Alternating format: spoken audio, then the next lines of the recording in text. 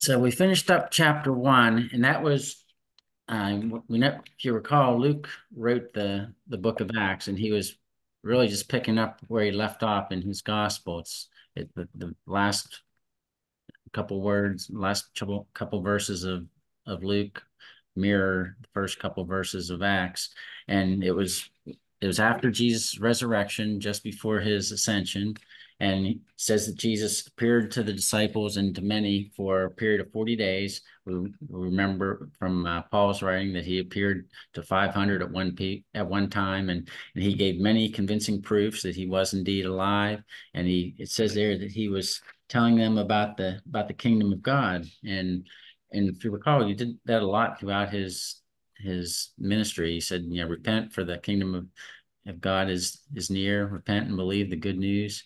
And uh, so naturally, the disciples, right before uh, Jesus ascended, they their natural question was, "Well, is it now at this time that you're going to restore the kingdom to to Israel?" Because that's what they remember after Jesus was crucified. They they were kind of moping around. They said they thought that, that Jesus was the one that was going to uh, redeem Israel. And so now that they see him resurrected, they thought finally, you know, the kingdom you're going to restore the kingdom of Israel. And he says, it's not for you to know. He said, the Father's appointed that time, and it's not for you to know the time. He said, but in the meantime, I've got a job for you. He said, you're going to be my witnesses when the when the Holy Spirit comes upon you. He said, John baptized with water, but you're going to be baptized with the Holy Spirit not many days from now. And we see it's going to be about a week later, seven, eight, maybe nine days later. And so in chapter two now, we're getting to that, that point now of what he was talking about, this promise that he made gave them. He said, you know, wait in Jerusalem until you receive power from on high, the promise from the Father. So we're going to see in Acts chapter two that that promise. And uh, and after right after he told them that, he was ascended back to heaven. And we know from uh, several passages of scripture that's when he received his kingdom. Uh, Luke 19, Daniel 7, Revelation 12 says that's when he received his kingdom. He went, went back to the Father, received his kingdom. Then he's going to come and he's going to return and he's going to begin to rule and reign as king. And when he does, it's it's not going to be pretty for those that, that have not become, uh, have not received him as Lord and Savior. And so that that's part of what I think I think we need to keep that in mind when we're witnessing as well that know, not don't just I mean, it's great to proclaim the good news. We are to proclaim the good news, the gospel, but there's bad news too. And, you know, people need to hear the bad news too in order to be prepared for the good news. So when we're witnesses and, and, you know, you're, you're to, you know, you need to sort of take people's spiritual temperature to see where they, where they are. Some people are ready for the good news. Some people have to hear the bad news first. Um, there's many that, you know, think that aren't that there's a lot of people that don't even know anything about heaven or hell. They don't know anything about God's requirements for righteousness. So when we're witnessing, we need to, you know, it's it's it's great to tell them, you know, God loves you, Jesus died for your sins.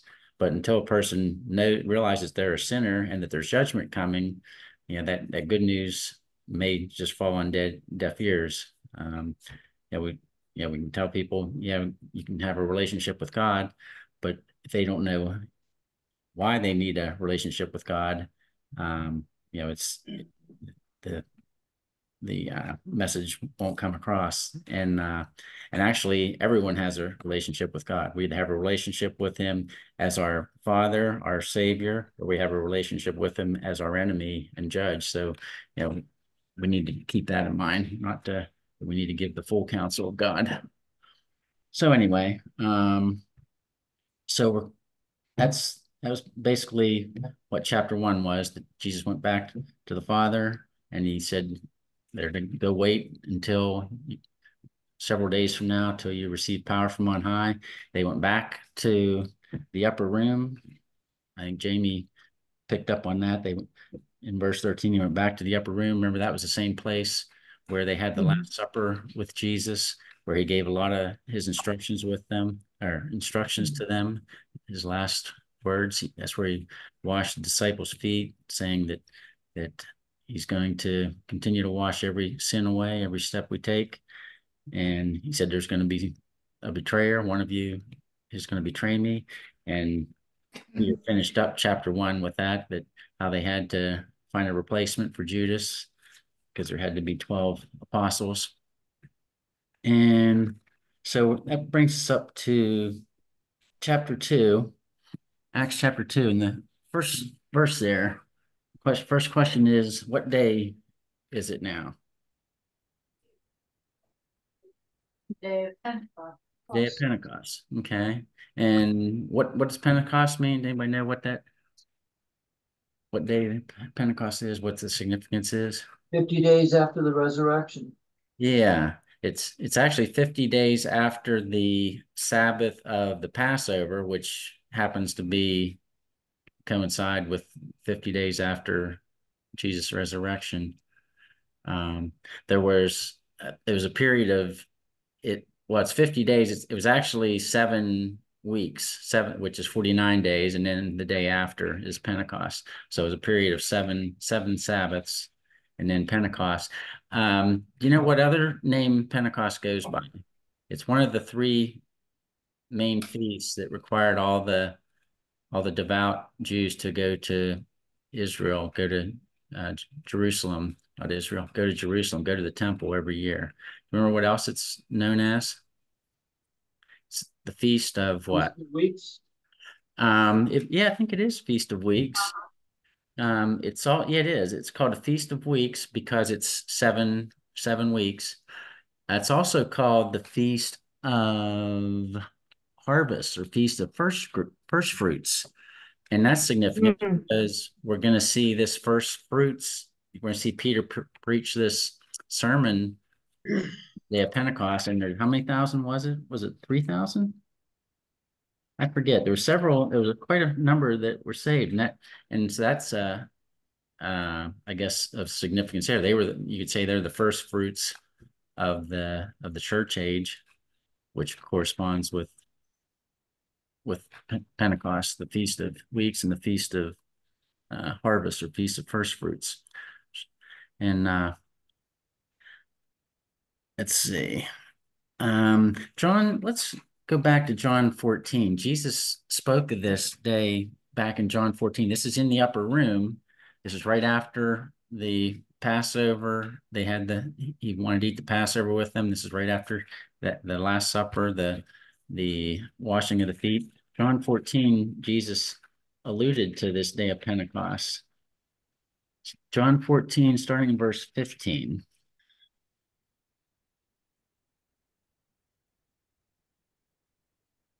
John 14, mm. verse 15, um, sorry, verse 16. Um, verse 15 is if you love me, you'll keep my commandments. And we know what his commandments are. His commandments are to believe on the one the Father sent and to love the brethren. And so he says, if you love me, you'll keep my commandments. That's believe on him, love the brethren. And I will ask the Father, and he will give you another helper, that he may be with you forever. And who's the other helper? He's going to tell us there in verse 17. Holy Spirit. The Holy Spirit, yeah. Now here he calls him the Spirit of Truth, but it's the Holy Spirit. So if you keep my commandments of believing on me, um, I'm going to ask Father. He's going to give you another helper, the Holy Spirit, and that when he says another helper, that's that's uh, another just like me. It's uh, I think it, is that Parakletos. Is that the word he uses there? It's called the Comforter, the Counselor. I think, and uh, but it means another helper just like me. That, that word can be translated helper or comforter or counselor, uh, advocate, intercessor. It can be translated in many, many different ways, and the Holy Spirit serves all those, those roles. So he's going to be with you forever. Remember Hebrews 13, 5, he's never going to leave you, never going to forsake you. And he calls him the spirit of truth. The world cannot receive him. The, the, that's the lost world, those that don't believe in Jesus because it does not behold him or know him, but you know him because he abides with you and will be in you. So he's speaking of this day of Pentecost coming, saying, I'm not going to leave you as orphans. I will come to you. He's talking about whenever I go back to the Father, I'm not going to leave you as orphans. I'm going to come to you. He's going to come to us in the form of the Holy Spirit. After a little while, the world will behold me no more. He's because he's going to go back to the Father, but you will behold me because I live, you shall live also. So he's going to live in us because Jesus lives, we're going to live. So Jesus is, has an indestructible life. He's never going to die. He's never going to leave us. So we'll live as well. We're never going to die spiritually. And then here's verse 20. In that day, and I think that's referring to the day of Pentecost that we're talking about here in, in Acts 2 1. In that day, you will know that I am in my Father, and you are in me, and I am in you. That day of Pentecost, and that that day for everyone out since that day is is really it's the moment the day we believe in Jesus we'll know that Jesus is in the Father that we are in Christ and Christ is in us and can anybody testify to that the day you were born again that you knew Christ was in you and you were in Christ and Christ was in the Father Yes. so all right so speaking of that day that day of Pentecost and also for everybody after that that that day you received Christ, you received the Holy Spirit. All right. So when the day of Pentecost had come, they were all together in one place, and probably it's probably that upper room because they were in the upper room back in in Acts 1, verse 12. They went up to the upper room. That seemed to be that seemed to be where they hung out a lot. Um, they were there. Remember, they were there. We just talked about that on the, the day of the Last Supper and so forth. So that must have been their must and it must have been a pretty big room because there was 120 of them in there in at the end of Acts chapter one. So oh and I I answered question two. So where were they? The upper room. Probably the upper room. Yeah, they were all together, all together in one place, most likely the upper room. Yep. And uh let's see. Yeah, and that and that's where at John 14 that we just read that that was in the upper room as well. Luke 22. Um, I put a note there for Luke 22. Let's let's go there quick. It's Luke 22, verse 1 and 2.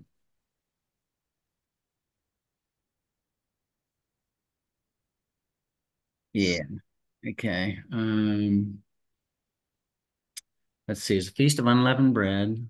Oh, 1 through 34. Yeah, okay. That was a feast of unleavened bread, which is called the Passover. This is right before Jesus was arrested and, and crucified.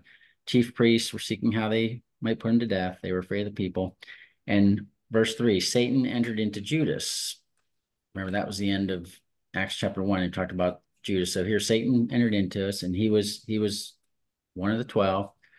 He, that's where he discussed with the chief priests how he, how he might betray them. They were glad. They agreed to give him money. He consented. He wanted them for an opportunity to to betray Jesus. And uh, see, the day came for unleavened bread. The Passover had to be sacrificed, and of course, Jesus was sacrificed on the Passover. And let's see. So Jesus sent Peter and John saying, Go prepare the Passover. So we made it. says, Where do you want to prepare it? Said, When you've entered the city, a man will meet you carrying a pitcher of water. Follow him into the house that he enters. And this is going to be the upper room here. You shall say to the owner of the house, the teacher says to you, Where is the guest room in which I may eat the Passover with my disciples? And he will show you a large furnished upper room. Prepare it there. So it's a large furnished upper room. And they departed, found everything just as he told them, and they prepared the Passover. And again, it must have been pretty big if they hold 20 people. So, and then that's the Lord's Supper, where right before Jesus told them about the day of Pentecost coming. And it's down to verse 34 if you want to read that, but that's about where Jesus was betrayed and so forth. And that's where Peter said, Lord, I'm ready to go to prison and to death. And Jesus said, You're going to deny me, etc. Okay, so anyway, that was up in the upper room. So that's probably where they are now, a large room. And so that's where Jesus told them to stay and wait for the promise. That that was in Luke 24. If you're still in Luke 22, see that down in Luke 24. That's where he told them to to wait for the promise. Uh, Luke 24, verse 52 and 53. They returned. Let's see. Yeah, they returned to Jerusalem. They were continually in the temple praising God. Let's see. Um, yeah, verse 49. I'm sending forth the promise of my Father, but you're to stay in the city until you're clothed with power from on high. All right, so they're in the upper room, one place, day of Pentecost, and what happened? Verse two. They What- heard a rushing wind. Yeah, great, great, a great rushing wind, a loud noise from from heaven, like a violent rushing wind. I don't know if that would have been like a tornado. Wow. I don't know. What's that, Jamie? I said, wow. Yeah. I don't know. But did you ever hear a tornado where you say it sounds like a freight train coming? I don't know if Uh-huh. it was something like that, maybe. I don't know. Wow. violent wind. And they, they were sitting there and it filled the whole house, violent wind, rushing wind. And what's significant about the it being a sound like a wind? What do you know what that word wind, the word is for wind? You ever hear Jesus uh, talk about wind before, like in John chapter three with Nicodemus? Now, you don't know where it's coming and, where- and where it's going. Yeah, the, word wind, it's it's pneumo or pneumo, I think it is, which is the same word for spirit, spirit or breath. And so Jesus used that that illustration with with uh, Nicodemus. Remember when he said, "You must be born born again. You must be born of the Spirit." Said so just like with the wind, you don't know where it's going. He says it's the same way with those that are born of the Spirit. So. Oh, wow.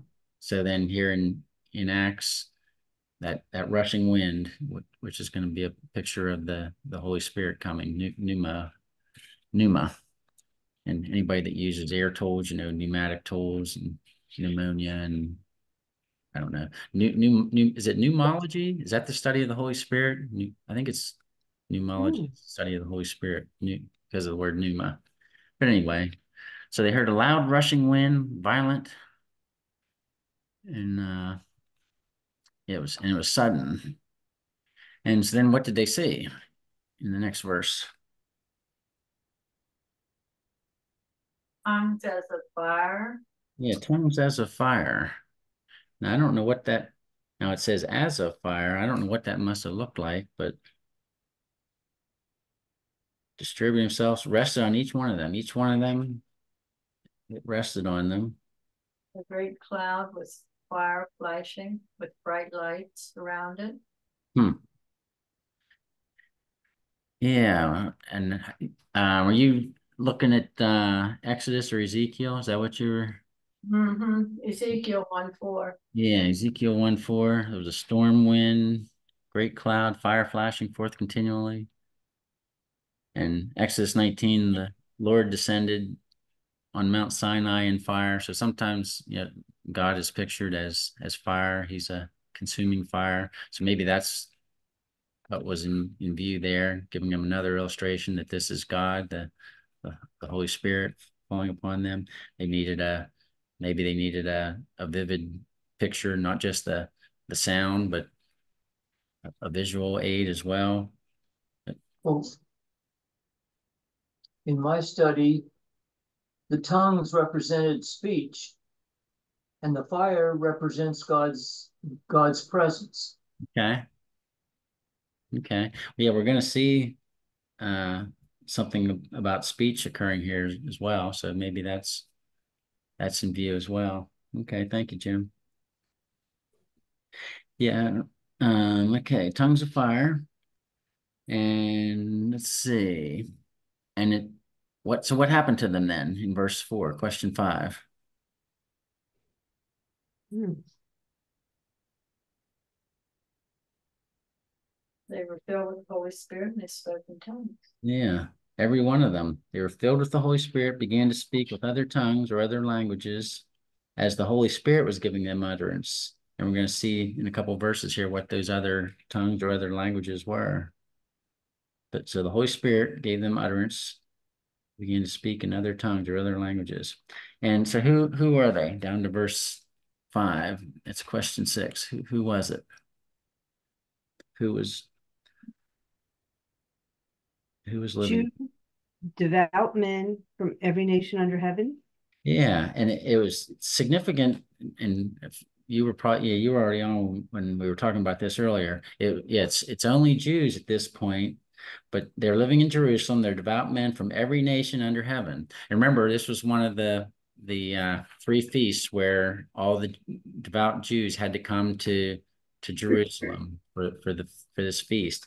So that would have, that's what would have motivated them to come at, to all together at this point. So they're from every every nation. Let's see, what was what did it say there? Devout men from every nation under heaven.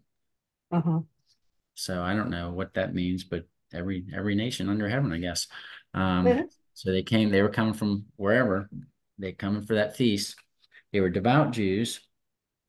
And let's see. Um, I had a, had a note there for Romans 1 6 because the gospel it's the it's the power of God to salvation to the Jews first and then to the Gentiles. So it's coming to the Jews first, and we're going to see. I think it's I think it's Acts chapter eight and chapter ten that it is going to go to the Gentiles, but it came to the Jews first. So all the Jews see the Holy Spirit first. What's that, Kim? No, I was just reading number five, every nation, for every nation under heaven. I Yeah. think that just means everybody Yeah, I think so. They just came from all over the world. Yeah. from all over the world, everybody, black, white, Chinese, everybody. Well, at this point, they were just Jews, but it but it will it will be in Revelation. So it's just the nation, just the nation of Jews. It would just be the, at this point, it's just the ethnic Jews, yeah. But it is the gospel is going to go to every every nation as far as every you know every eth- ethnicity, black, white, uh, Asian, whatever. But at this point, it's limited to the Jews. It's pretty evident that they were in all fifteen of these countries that were represented there tonight. Hmm. And uh, they say that that period from the time Jesus was twelve years old till he was twenty-eight or thirty and began teaching, they said many of those years he spent in Asia. Hmm. Somebody has researched deeper than anything we found in the Bible, but that is And that's saying claimed it. every nation under heaven, every nation under heaven.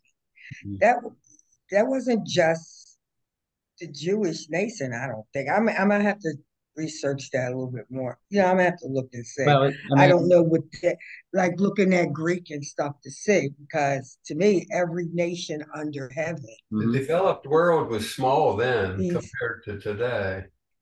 yeah. But there were Ethiopians, there were there were. Egyptians, there, there Yeah. were people other than Jews, Right. Jewish people. Right, and we're going to in- see that the gospel is going to go to them when we get to chapter eight and chapter ten. Yeah, nobody's left out, but it's to the Jews first, and then to the Gentiles, as according to Romans one sixteen. Ah, Mm. okay. Well, now, now there were they were dwelling in Jerusalem Jews, Yeah, devout men. Okay, so it does say Jews and then Yeah. devout men. Yeah, and remember, Jesus said, "I was sent only to the lost sheep of the house of Israel." And we sent out his disciples, he sent them initially just to the to the lost sheep of the house of Israel. But then he does give them the commission to go to all the world. Um, I, I don't know why, you know, I'm not sure why God chose to do it that way to the Jew first. Um, I don't know. And we know that he chose, because he felt like it. Yeah, he said it was not because they were anything special. We already knew. that, right? exactly, They weren't special. He just picked somebody, just like you pick somebody to read read the Bible or something. Well, I, he- I mean, I think that's what. And remember what he said, I he said I chose you, he says not because you were greater than anybody else. He, he said because you're the least. He, probably because they're the Israel is so is so insignificant is why I think is why God chose Israel. They're you know, this tiny little nation, little insignificant nation in the middle of nowhere, but it's the center of the of the world, really. Too Mhm. much focus on it. And God said, And he kind of does that, doesn't he? He picks the ones, not the ones that are like kind of out there. right. You know, um, the humble ones. The yeah, what me? Like even with Moses, I don't even know how to talk. You know, right. and you want to choose me to lead these people out? Yeah, amen. If it was us, People who are not full of themselves. yeah, It was part, a big part of the proof that God is God, that he could preserve Amen. a tiny Yeah. nation for thousands of years that the rest of the world has tried to destroy out of jealousy. and trying to wipe them off the face of the earth for thousands of years. Do you think they'll ever be successful? No, No, Yeah, if it was us, we'd we'd say the chosen people would be the United States or you know or Russia or China, one of these big powerful nations. But no, God's chosen people was this, tiny insignificant nation of Israel. And he said, what did he say? He said it wasn't because you're so great, and it's not because you're so righteous. He said it was it was it was to show it's basically to show God's power, God's sovereignty, that He is God, He is in control. So yeah. All right, and he ch- chooses wa- foolish things of the world to confound the wise. Yeah, I wonder what the number was as far as, you know, people who chose to live in Jerusalem, either as slaves or chose to assimilate with the Jews. We know there were other nationalities. Yeah. I wonder, did did many of them disperse from Jerusalem because of the Roman oppression? Is that why they were scattered? And I haven't, I don't have a lot of knowledge on that, why they were all, you know, dispersed. I know there's been, you know, this the so-called dispersion where they were dispersed to other areas. I don't, at this time, I don't recall why that that happened. well, verse eleven shows, uh, ten shows that there were proselytes there, Jim, see? Meaning that the Jews had gone out and uh evangelized for sake of Judaism. Would that be fair to say? That's true. That because even well, even in uh, you know prior to the cross, that they, the Jews were supposed to go out and and proselyte proselytize. They were anybody could come in into the the stranger could come in as long as they submitted to the what was it submitted to the covenant of circumcision and and uh, had faith in the in the God of Abraham, Isaac, and Jacob. They would have been proselytes, would have been converts. So. Yeah, I think we'll be a little surprised when we get to heaven. mhm. Well, we might not be surprised, but I, I don't think all of our ways that we think Mhm. are what we see or what we say right now. It's going to be, you know, Yeah. and I will just leave it there. No, I, I agree with you. I think there's going to be a lot of surprises. Yeah. Yep. So, all right. Um, then in, yeah, remember there also in John 10, Jesus did say, he said, I have sheep who are not of this fold, meaning that he has sheep that are Gentiles and Samaritans.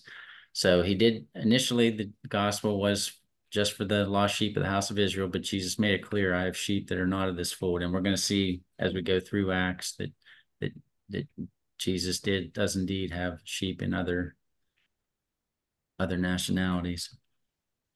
Mhm.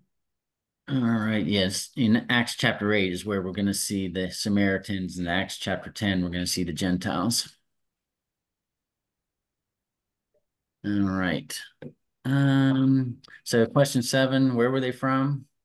Every nation under heaven. Okay.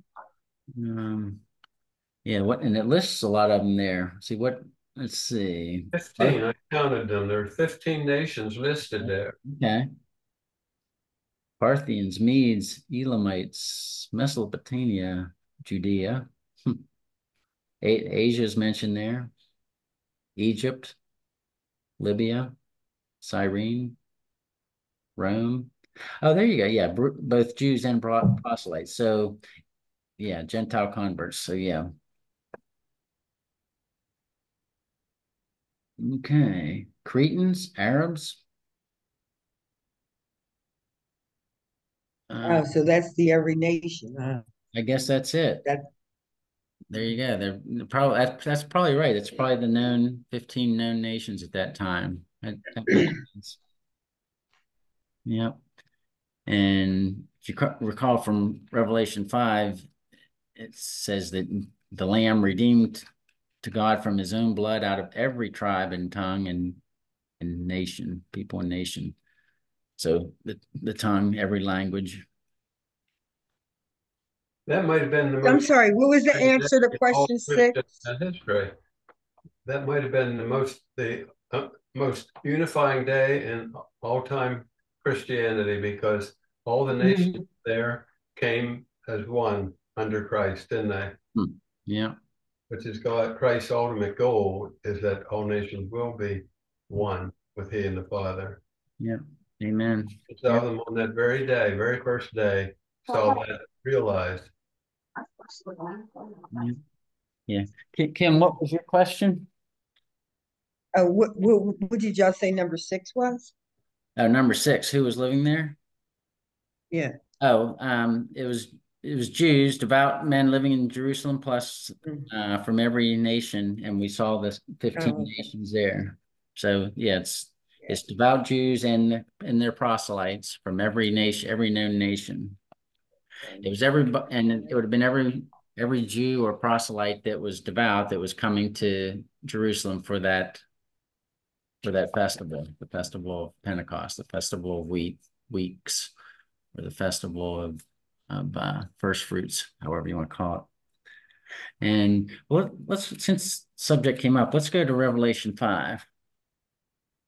Revelation five, verse nine. This is a scene from heaven. And this is where the uh the four living creatures and the 24 elders, nu- numerous times the four living creatures and the 24 elders are mentioned when the, the sc- scene from heaven. That's in uh, Ezekiel and Isaiah, I think both talk about that as well. But anyway, they're they're around the throne. Let's see, I lost my place. Verse nine. Uh, they're all around the throne before the Lamb, having a harp, bowls of incense, the prayers of the saints, and they sang a new song saying, Worthy art you, that this is the Lamb, Jesus. Worthy art thou to take the book, to break its seals, for thou wast slain and did purchase for God with thy blood men from from actually it doesn't the word men is in, in italics. You had purchased from every tribe and tongue and people and nations. You made them to be a kingdom and priests to our God, and they will reign upon the earth. That reign yeah, and that ties back in with uh Acts chapter one as well, when they they asked Jesus, when are you going to restore the the the kingdom to Israel? It says here, you made them to be a kingdom and priests, and they will reign upon the earth. You're going to reign upon the earth when Jesus returns, and it's from every tribe, every tongue, every language, every, and every people, every nation, white, black, yellow, brown, every tongue, Spanish, Chinese, made them to be a kingdom and priests to our God. They will reign upon the earth, and they're going to reign upon the earth when Jesus returns as king. And it might have been as close as the nations of Islam, uh, Ishmael and Isaac ever came to be united because we can see that they're both in, here in this group on yeah, this very first day of Pentecost. yeah. That was probably as close as they ever came to having peace. Hmm. Hmm. Yeah. Hallelujah. If you're still And there, it says everybody's gonna, everybody's gonna confess it, right? So the Ishmaels and the Jews, they're gonna come in, right? They're gonna accept Christ. uh, some will, yeah. Every every knee is going to bow, whether voluntarily or involuntary, at some point. Right. Those that don't what get burned up or whatever, you know, you know, that I Mm. mean, it's their Yeah. call, but Yeah, there will be all all different yeah. kinds. Yeah, if you're still there in Revelation, let's go to chapter seven, where he's going to talk about it again. Um, first in verse four, we're going to see those from the from the tribes, the twelve tribes of Israel, in verse four through eight. Mm. It's going to be uh, from every tribe. It's going to be twelve thousand from each tribe, and then down. You jump down to verse nine, after these I looked, behold, a great multitude which no one could count from every nation and all tribes and peoples and tongues standing before the throne and before the Lamb, clothed in white robes, palm branches in their hands, cry out with a loud voice, saying, Salvation to our God who sits on the throne and to the Lamb. That's Jesus. All the angels standing around the throne, there's the elders again, the four living creatures again. They fell on their faces before the throne and worshiped God, saying, Amen. Blessing and glory and wisdom and thanksgiving and honor and power and might to our God forever and ever. And then one of the elders answered, saying, Who are these clothed in the white robes? Who are they and from where have they come? Said, My Lord, you know, said to me, These are the ones who have come out of great tribulation, have washed their robes and made them white in the blood of the Lamb. And it's for this reason they are before the throne of God. They serve him day and night in his temple, and he who sits on the throne shall spread his tabernacle over them. They shall hunger no more, neither thirst any more, neither shall the sun beat down on them, nor any heat. For the Lamb in the center of the throne shall be their shepherd, shall guide them to springs of the water of life, and God shall wipe away every tear from their eyes. Mm. It's going to repeat. Hallelujah. Amen. It's going to repeat some of that in, in chapter 21. Glory to the Amen. Glory to the King. So every nation. Thank you, Jesus. Amen. Thank you for the blood. Yes, hallelujah. I'm ready to cry. Yeah. Go ahead. Me too. Yeah. Yeah. You know, the, uh, Jesus had taught those parables uh, just a couple years before, and he was saying about the righteous will only truly shine after the wheat and jar- uh, tares judgment, final judgment day, when they're separated. He said, then the righteous will shine like the sun. Amen. And the disciples could have easily pictured that is about to happen Hmm. after Pentecost, couldn't they? Yeah. Yeah.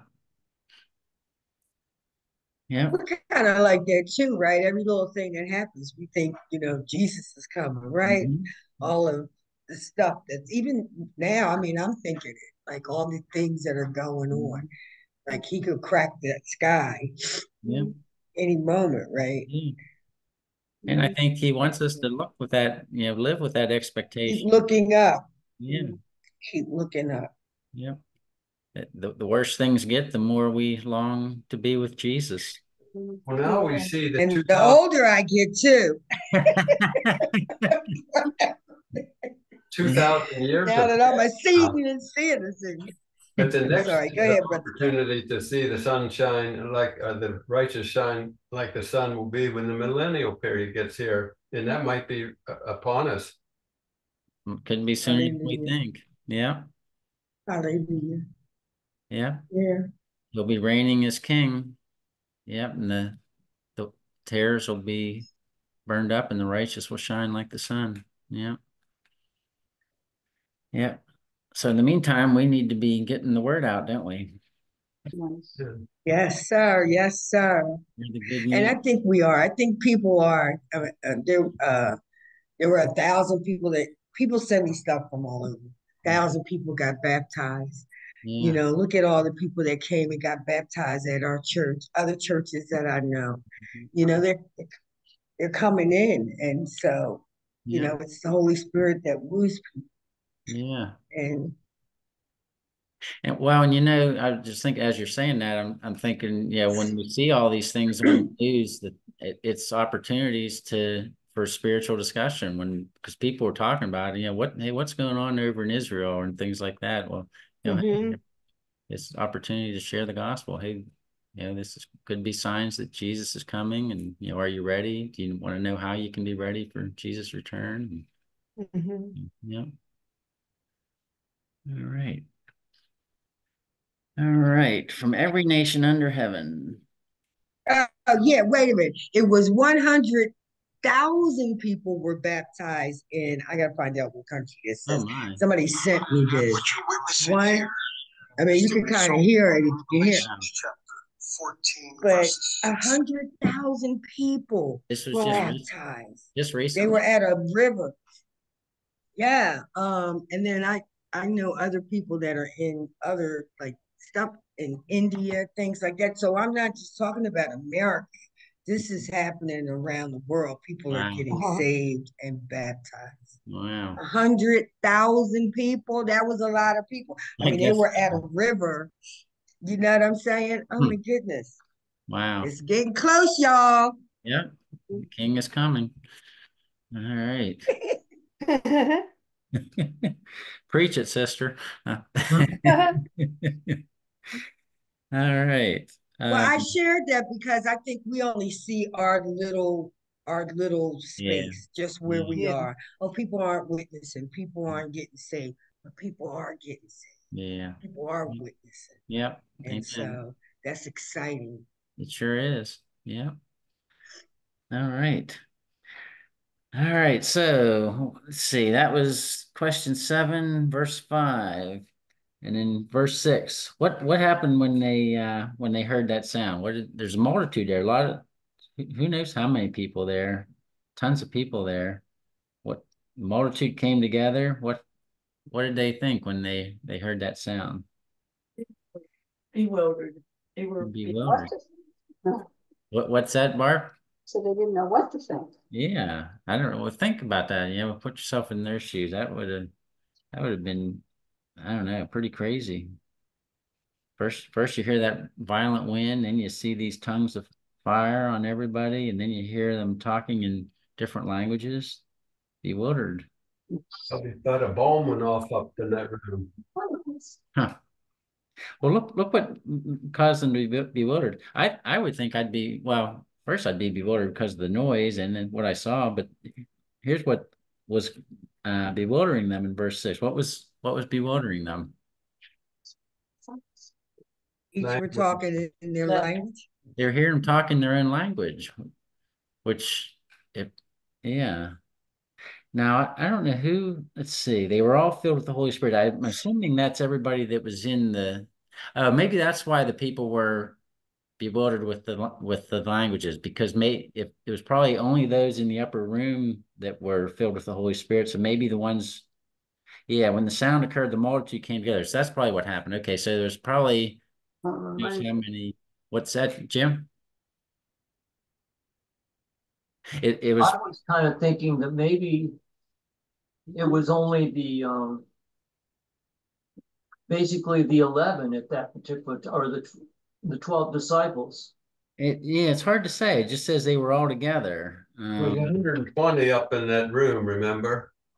That was, yeah, that was seven or eight days before Pentecost. Yeah, it's hard to say. They were all together. It, was, I'm guessing it was probably the 120.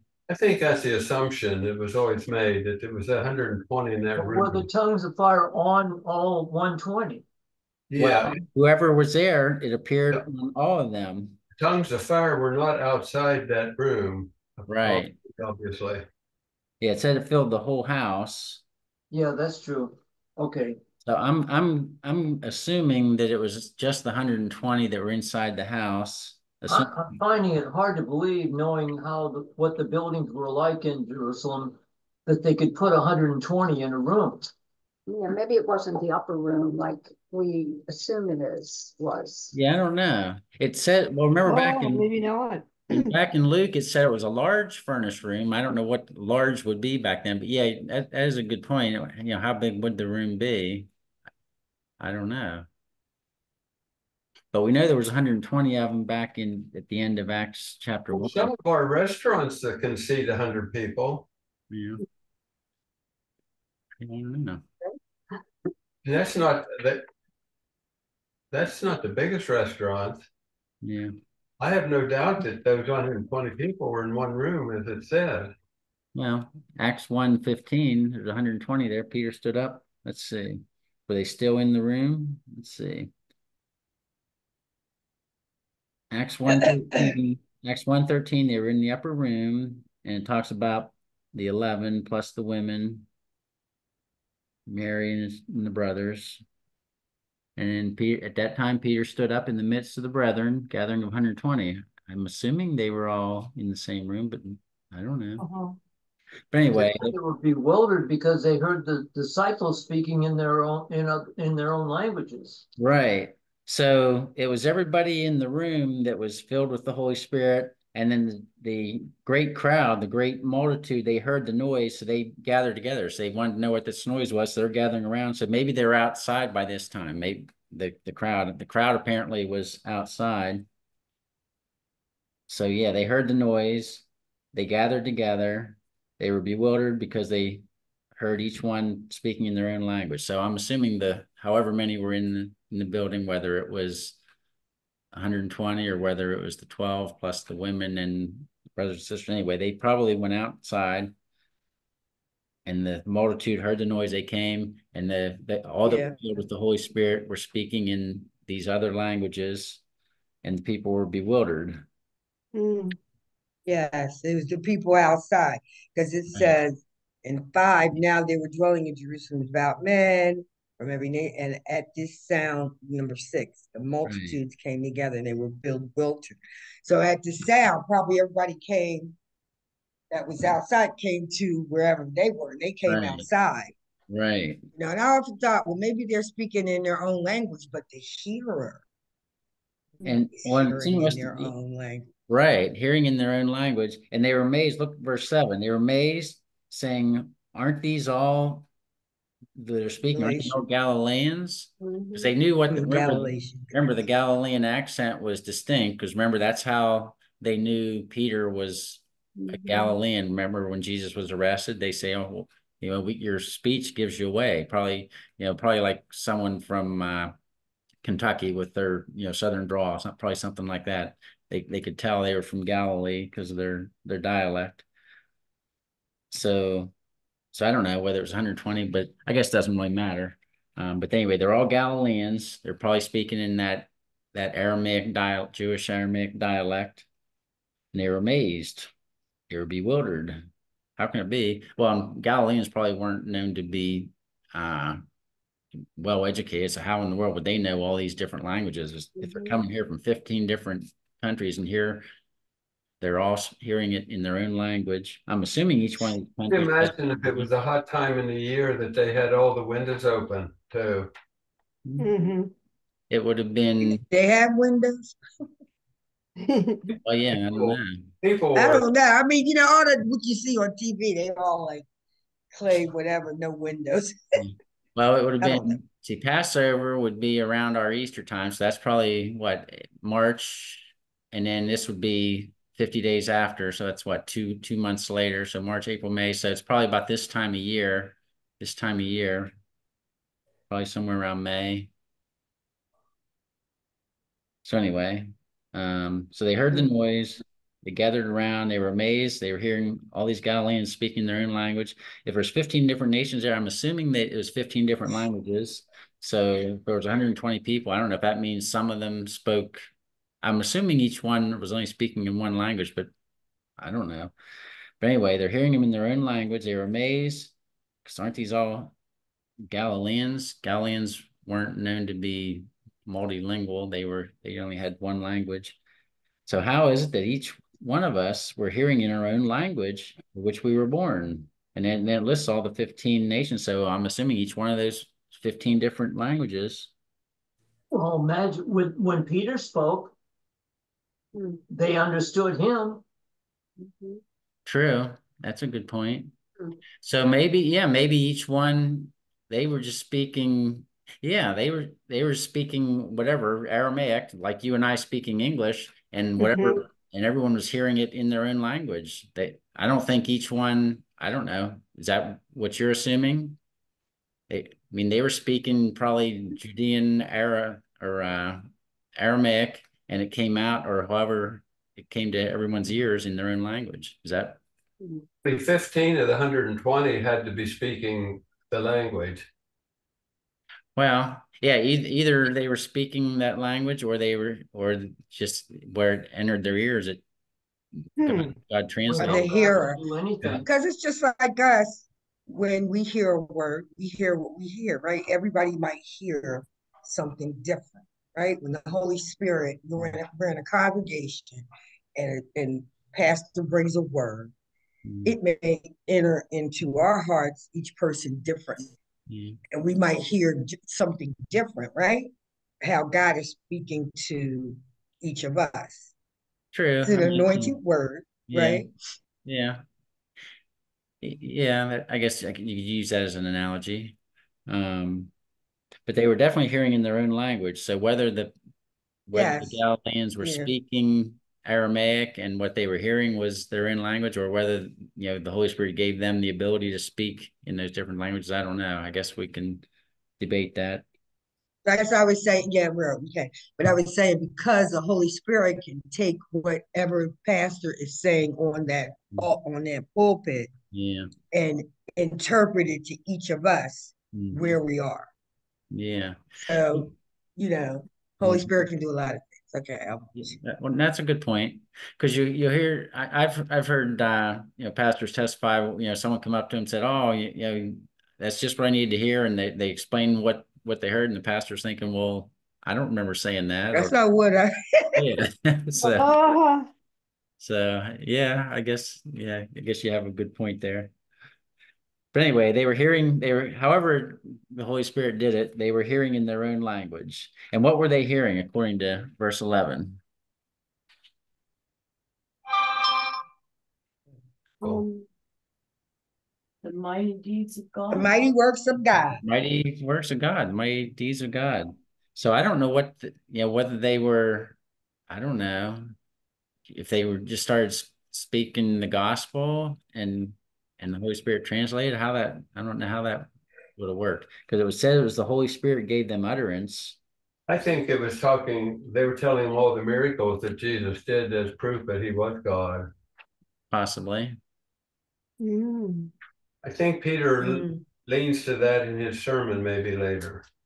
Okay. Okay. Um, let's see. So yeah, they were amazed because they were Galileans, and yeah, uh, that reference to John one, that was where was it Nathan said, "Can anything good come out of Nazareth, which is out of Galilee?" And in John seven, Jesus said that. Uh, let's see. Oh, John seven, they said no prophet comes out of Galilee. Let's see. Yeah, the seven. Let's see, one, two, three. There's what seven fishermen were from Galilee. The Simon, Peter, Andrew, James, John, Thomas, Philip, Nathaniel.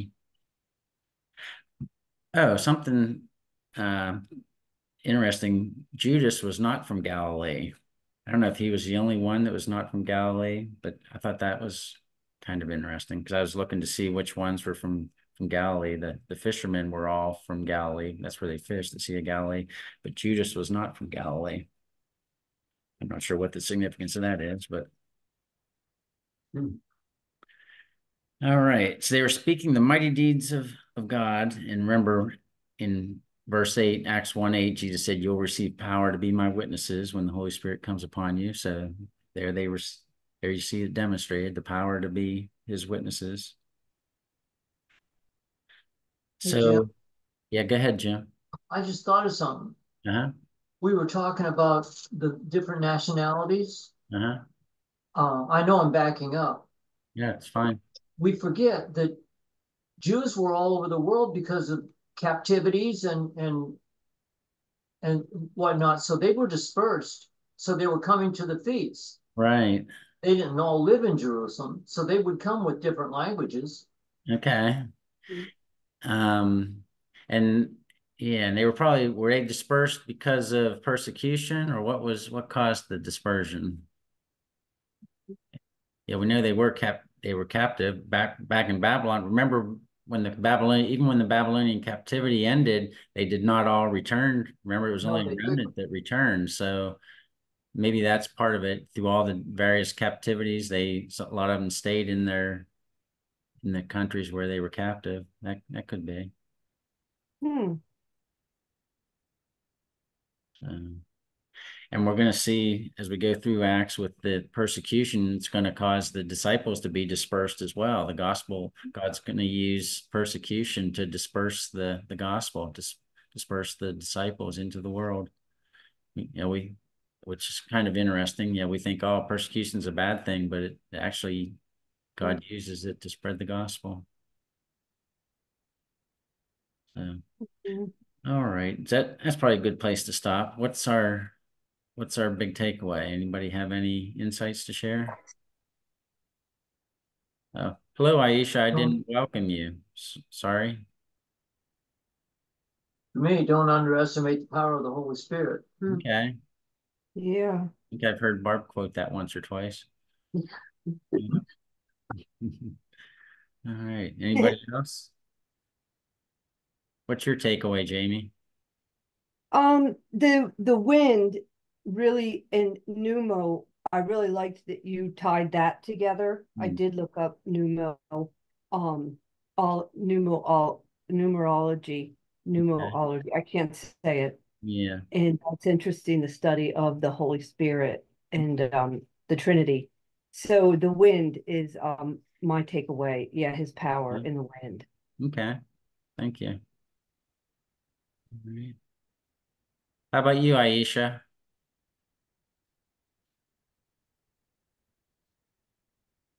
Okay, sorry, you're working. Aisha's working, so she's just listening. All right. Thank you. I'm glad you joined us. Well, this is considered the birth of the church, isn't it?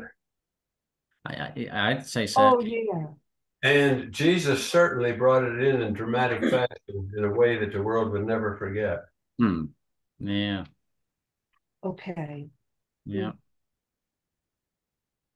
Yeah. Uh, what's your takeaway, Joyce? Well, I just think where it was mentioned the mighty wind Mhm. and also the fire on each one. And when I think of wind, we can't control it, just like today, like you mentioned the word tornado. Mm. People that deal with things like this that are only God, But we can't begin to control fire Yeah, really or the mighty winds. And it's just amen. showing it was already meant mighty power of God.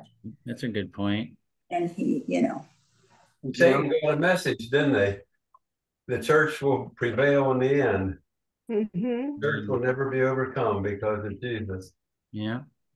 Yeah, and remember, well, as you're saying that, I'm thinking, remember on that in the storm when the disciples were out in the s- storm and and Mhm. Jesus calmed the storm. They said, "What manner of man is this that even the wind obeys him?" Yeah.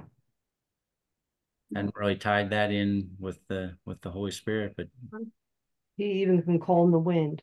amen. yeah, we sure can't. Hmm. Um, A little question. yeah, Remember it said a sound like a mighty rushing wind, so it didn't have the wind with it. true. That's a good point. It was like a sound like yeah, Oh, okay. True. That's a good point. Mhm. Yeah, it would have blown the house down probably. Yeah, wonder- Mhm. that's a real good point. Sounded like, Yeah. oh, wow. It came, that's pretty good. It came as a Yeah, soft, that is, I like, it came as a soft breeze, Jim was saying, which would be Christ-like, Hmm. but, but it sounded like a violent wind. Hmm. I like that, Jim. Yeah.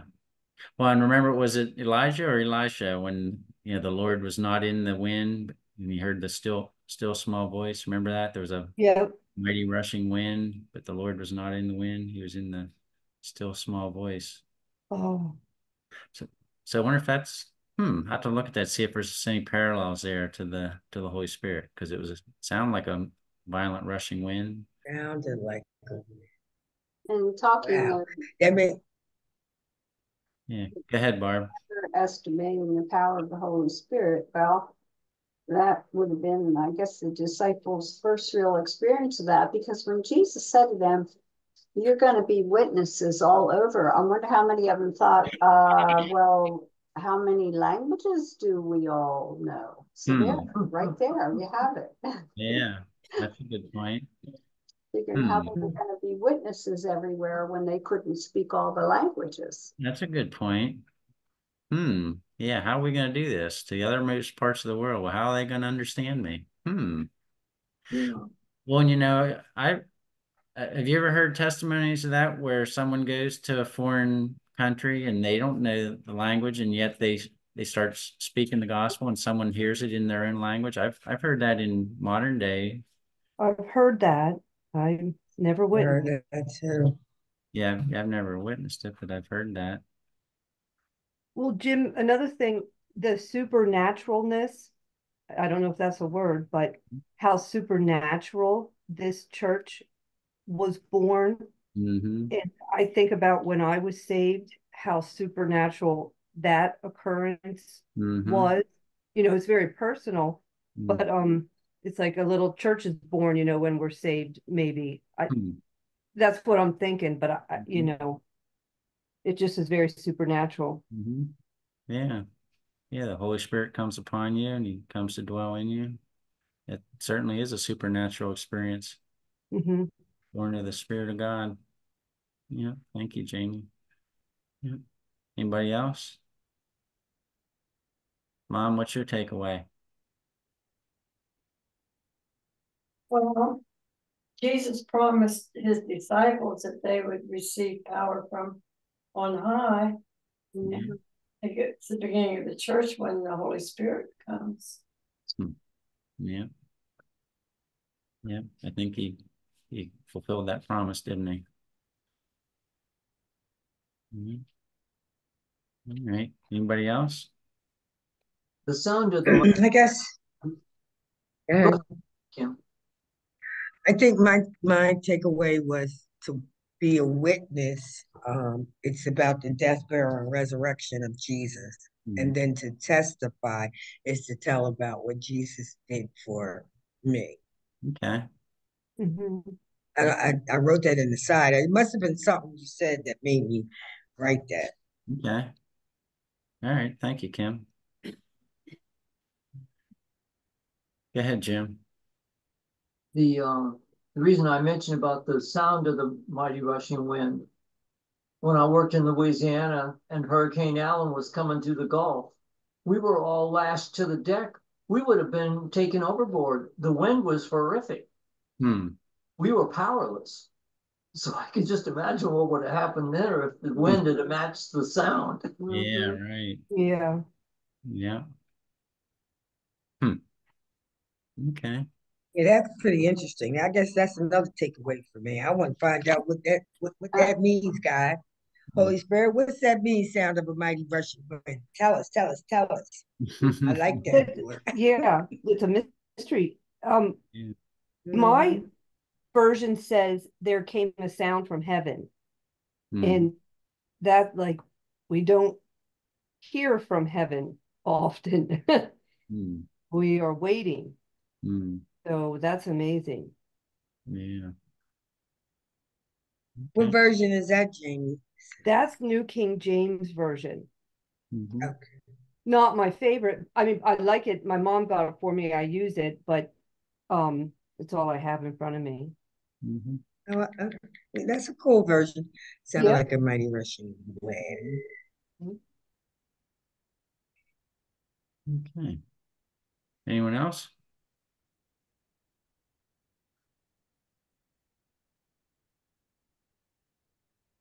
Someone like to pray for us?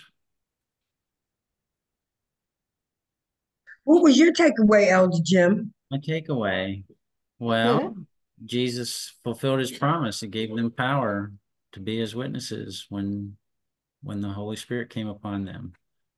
And, and he fulfilled that promise in each one of us, gave us power to be his witnesses. So I want to go out and be a witness this week. Okay. That's my takeaway. Yes.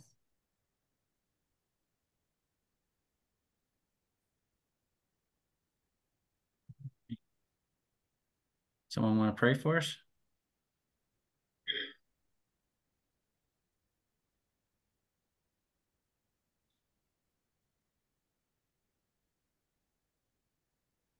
I will. Thanks, Jim. Father, this side of eternity, we know that we don't have all the answers. But you told us in Corinthians that, that one day we'll know. We look forward to that. In the meantime, Lord, we pray that you will continue to open our minds to grasp the fullness of your word, to allow it to do its perfect work in our lives. We can obey the mandate and tell as many as we can before you return, for we know it's near. go with us now as we step back into our reality. That we'll be careful to accomplish your will in everything we attempt, we pray. Amen. Amen. Amen. Jim. All right. Thank you, everybody. Thank you. All right, have a blessed night, everybody. All You right. too. See you next Stand week. back. All All right. right. Bye-bye. Bye-bye.